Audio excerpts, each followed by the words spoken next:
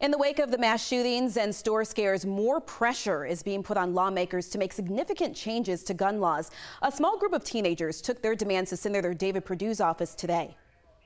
Uh, Senator Perdue is up on the 26th floor uh, with a lot of security where nobody can bring a firearm.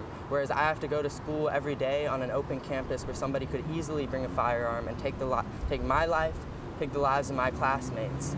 The group gathered outside the senator's office after bringing him a letter asking him to support Senate Bill 42, the Universal Background Check Expansion Act. The bill would require a background check for every gun deal, including private sales.